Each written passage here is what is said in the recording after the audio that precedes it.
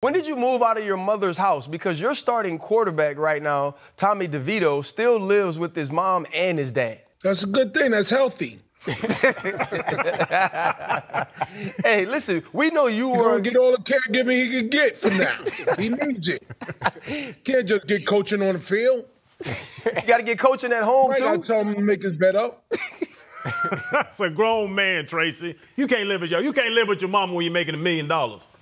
He's not making Sure million you can. I did.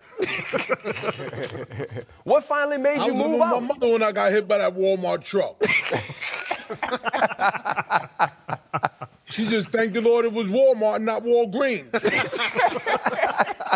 I guess there got to be a little bit more money at Walmart than there is at Walgreens. Yeah, well, she got me on the highway right now. We getting ready. Uh, hold on, ma. We getting ready to go hit the highway right now and go search for an Amazon truck. I'm going business time.